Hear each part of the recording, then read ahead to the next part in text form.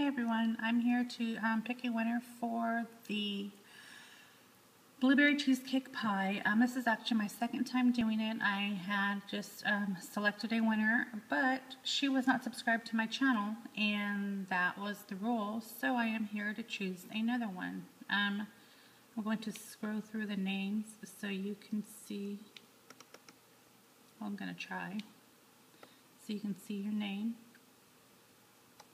But, um, yeah, it was really sad. I went through and I even checked my um, subscriptions twice and she was not on there. So, that's that's good for you guys. it's sad for her. Um, and yes, I have removed her name from the list. So, good luck everybody and let's hope that the next person is actually um, a subscriber and answer the question. All right, that's it. Here we go. Good luck.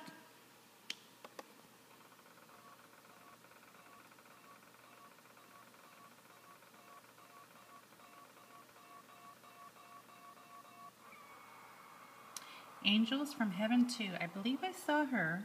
So, um, you have until um, Sunday, well, I'll give you, you know, all of Sunday um, to um, send me a message so that way I can get this sent out to you.